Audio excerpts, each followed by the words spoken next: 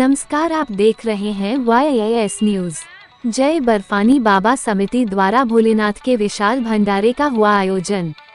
मुरादाबाद में मंगलवार को कांठ रोड स्थित निकट रंग फैक्ट्री आशियाना में जय बाबा बर्फानी समिति ने हर वर्ष की भांति इस वर्ष भी कांवरियों के लिए विशाल भंडारे का शुभारंभ किया।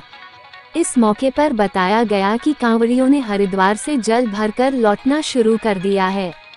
कहा कि 8 मार्च को महाशिवरात्रि का पर्व है। इसके चलते शिव भक्तों के जत्थे हरिद्वार से जल लेकर आ रहे हैं। इस उपलक्ष्य में समिति द्वारा तीन दिवसीय भंडारे का आयोजन किया गया है।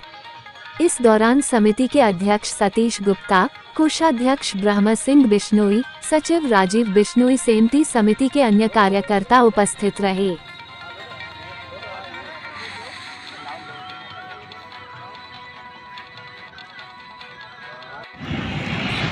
लोटो लोटो हल्का लोटो। हाँ लोटो। लोटो हाँ लाओ लो मध्य को दे मध्य को देखो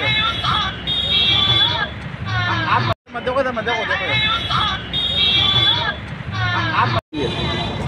भोलेनाथ का विशाल भंडारा है बर्फानी बाबा भंडारा समिति।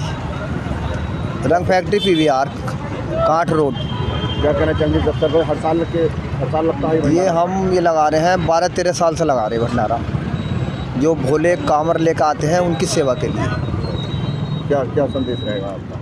संदेश ये है जो भोले कांवर लेकर आते हैं हरिद्वार से थक जाते हैं या विश्राम की व्यवस्था भी है और दवाई की भी व्यवस्था है जैसे कुछ हो जाता है तो दूध का भंडारा है ये लगाते हैं फल वगैरह सब। खाना।